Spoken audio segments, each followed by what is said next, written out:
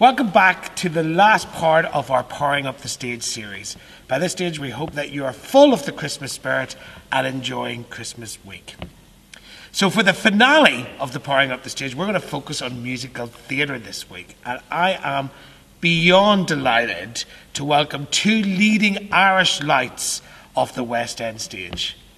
First of all, we have a lady who played Grizabella here on the Bord Gáis Energy stage, as well as playing the lead of Elle in Legally Blonde and Sandy in Grease on the West End stage.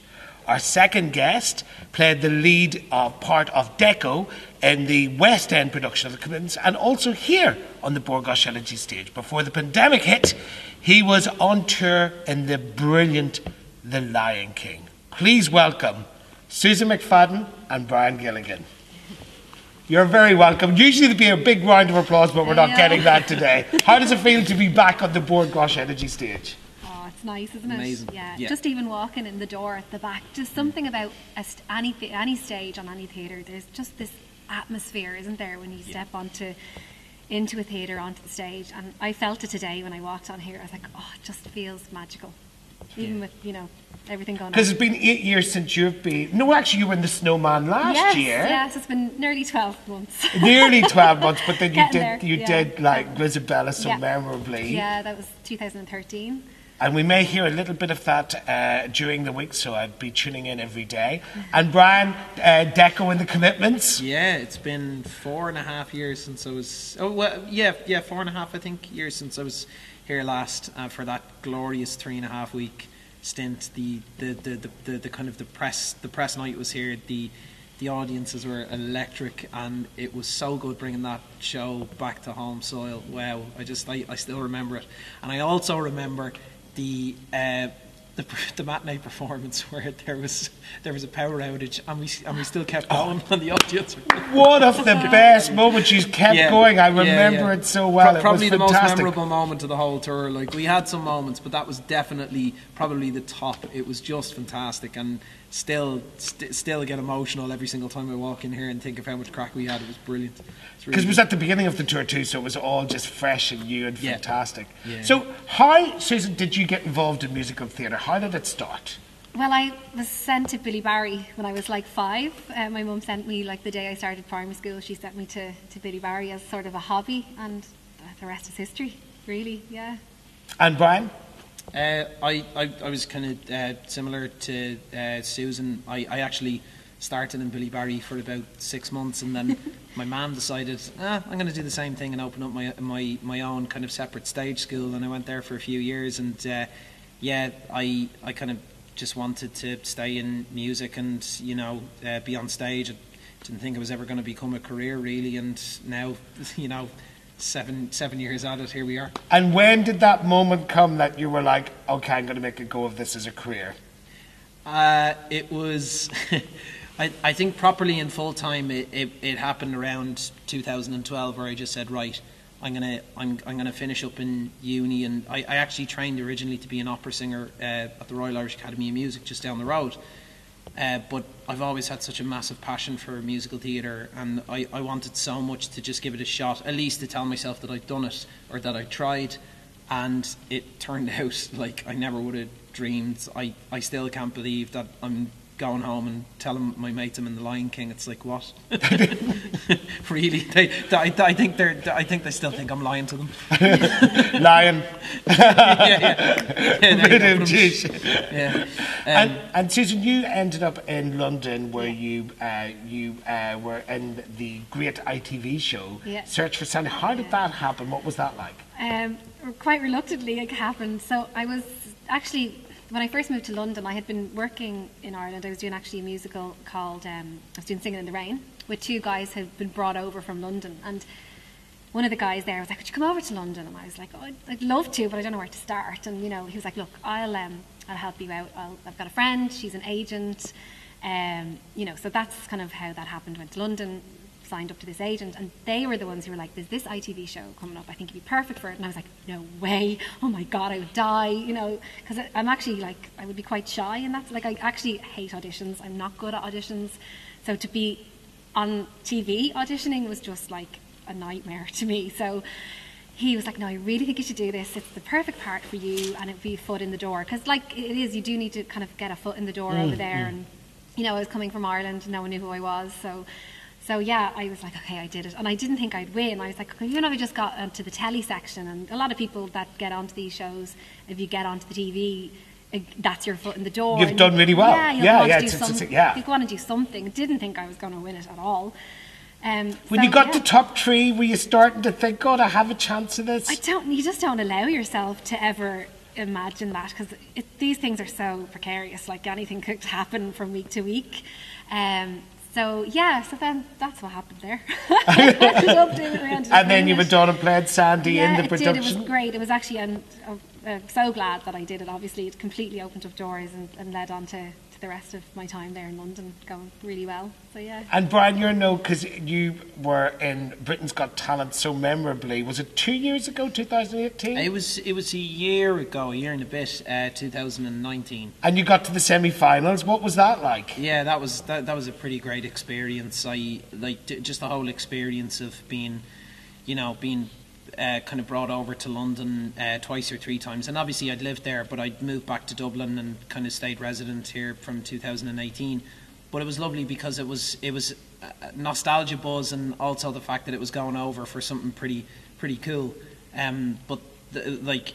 It, it was just marvelous going into the um, to the Hammersmith Apollo, and just just getting a feel for how the whole thing works and how how unbelievable the, the, the, the show was as an experience because every everyone was just brilliant. And the act like like regardless of like you know opening rounds or semi-finals it was just amazing to sit back and watch everyone from like circus performers to fire breathers stuntmen comedians you know um uh, other singers and like th- th- that kind of brought like a real sense of wow this is almost like just sitting back and appreciating how much the arts and entertainment industry is vital. And when you see the different strands and the different people that actually come together and make shows like that work it was just awesome. It was, it was really really good fun. An incredible experience for you both. Yeah, Mm. yeah, definitely. T- you get a tough skin, I think, doing something like that. It, it Yeah. gears you up for going forward in your career for sure. yeah yeah And now, what other shared experience you've had? Because both of yous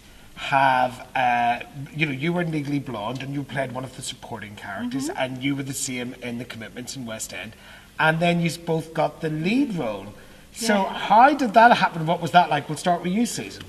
Um, well, for me, I actually came into the cast of Legally Blonde like, um, like the, it had already been cast, and then there was one role left. Um, and when I auditioned for it, it was it's funny. It's um, I don't know if you found this. Sometimes in I don't know if it's just London or, but it, you know, they can be quite um, casting directors and people can be just like, no, the character has brown hair, you have blonde hair, so you don't really fit into Yeah, that. we don't know about wigs. Wigs don't And the whole show is wigged. You know, every show in London is wigged, basically. So, um, I they think they really wanted to fit I me. need in- that. They wanted to fit me into the cast in some way. So they were like, they rang me back and they were like, so because the ca- the role of Elle had been already cast. I think it was the very first role um, by Sheridan. By Smith. Sheridan Smith, yeah.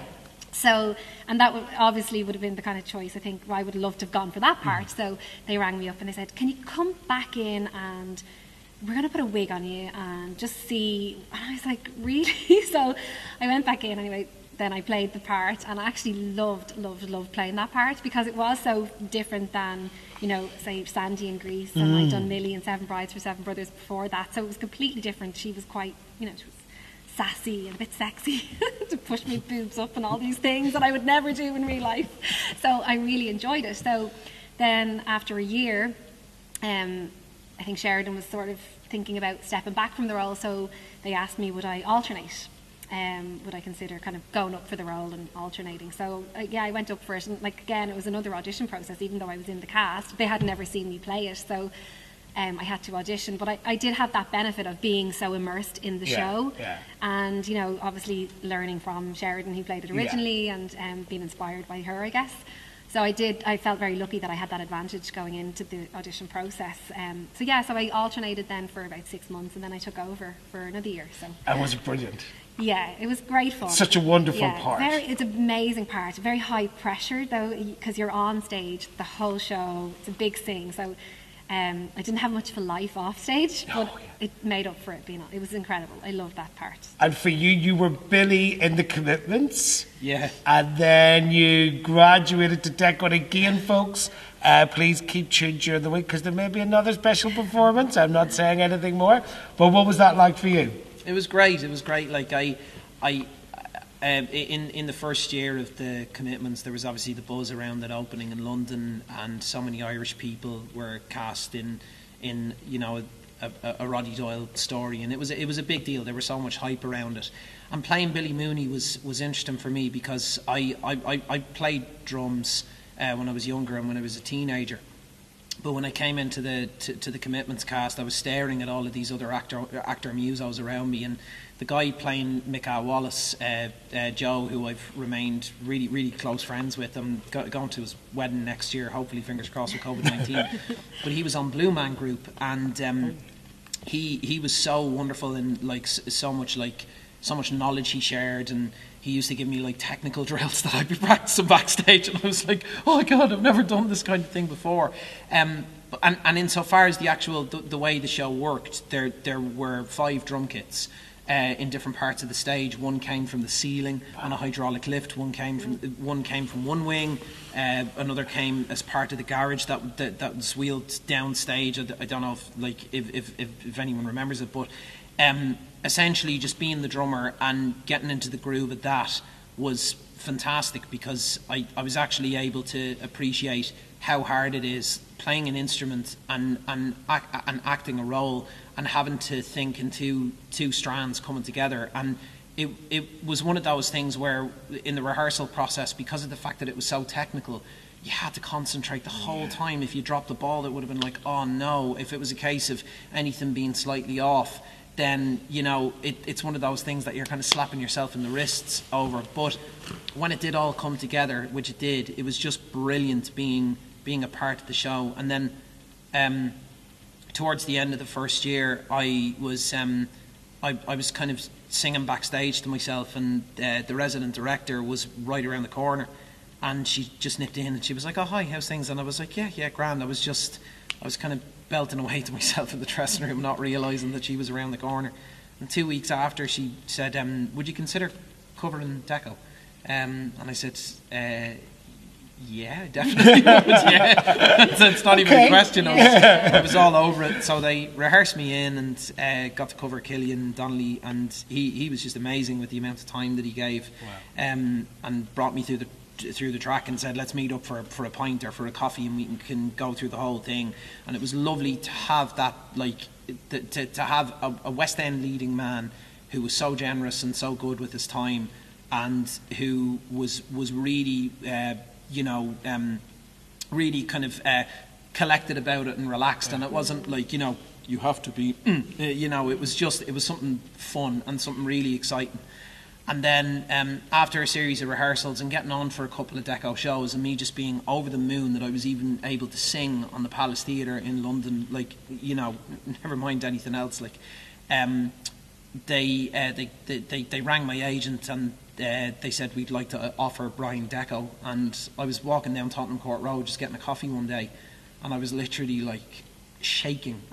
I, I couldn't, I genuinely couldn't believe it. So it, from then, it just it, like like simi- similar to UNL, it was just a process of changing my lifestyle, changing, Yeah, going out, yeah. changing my diet, Eight going sings, to the gym, eight which sings a week, before. eight, Yeah. shows a week Yeah. and a lead is Yeah, hard yeah. work. But I Yeah. just, as you were telling that story, I was remembering actually when the Commitments was auditioning in London, the amount of phone calls I got from people going, um, English, like, you know, UK people going, um, would you just um, record this? If I send you the script, will you just record it In into your phone in your accent? And I was like, no, these need to be pro- these need to be Irish Dublin people because it's Yeah. Roddy Doyle and it's the Commitments and it's so, to us, like, it's so iconic. Yeah, and yeah. I was like, mm, okay. Oh God, no, no, no! This needs to be pro. And I was so glad when I saw the cast. I was like, yes, Yeah, yeah. because it did need to be like authentic. So, final question. What words of advice? I'm sure there's a lot of people who are watching this today who want to be on the West End, who want to go to London and become an actor. What advice would you give them? I think, I think. Sorry, one of my, the lessons I learned um, was to, to definitely have confidence it's something I think that I lacked when I first went over. And someone said to me before, act as if, like just act as if you are you are the person that's you know going to Own the this stage. role. Yeah, Yeah. so walk into it. Now I'm not great at taking my own advice, but walk into it because you meet so I you meet so many people and you're like, God, they must be so talented because they're so confident. And, and then sometimes you might see them on stage and you go, they're okay. like, so there's definitely an element that's a big part to play when you're going over to London and auditioning. And I think another thing as well is to have as many strings to your bow as possible. Um, Like the drumming. now- yes, exactly. always keep knew? training, always keep learning and teaching yourself Yeah. um, something because you're so much more valuable to a director or a producer Yeah. the more you can do. Brian. Yeah, just just exactly what Susan said. Like you know, it, it, the, the, there is a there is a certain sense of internal confidence that you've got to have because it's what gets you to you know and not to be too kind of believe and achieve because like uh, not to sound cheesy, but there is there is a massive amount of truth to that statement because I think if you if, if you don't have that genuine feeling in, in your gut that you know that you can go and do these things, then it's only going to stop you. You know, you're never actually going to get on the plane and go over to London and try. Um, so yeah, have the confidence, work hard. You know, um, d- do do uh, kind of gather all your skills and your abilities because that could be the difference between you getting your dream job and never getting in the door.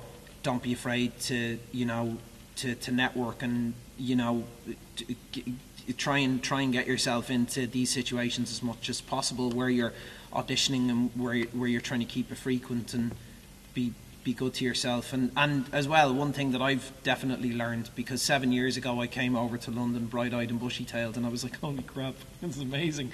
Um, but I always remember how kind people were and how um, how just you know how uh, it's it's almost like the the arts industry is it, it's like a community of people and they they look out for you. And uh, I, I I've had so much kindness and generosity shown to me that I always make it a per, like a, a genuine objective of mine to try and be kind to up and coming young you know young on. actors and singers and rising stars. And you know when you get to go and watch these people and you're like wow this th- this person has something special you just want to be able to do something for them r- regardless of what it is even if it's just to you know take them take take them for a few beers you're deadly it doesn't matter Any, anything just to be generous and just to be Yeah. nice it's it, it's it's something that you know um, that you have to show yeah Brian and Susan, you are complete inspirations, and thank you so much for coming here today. Give us a little bit of your wisdom. Uh, I think you will inspire the next generation, and indeed, I can't wait to see you back here on this stage again because this is where you belong. Thank you so Thank much you. today, and tune in uh, for the rest of the week because there's going to be some very special performances. Thank you. Thanks a million.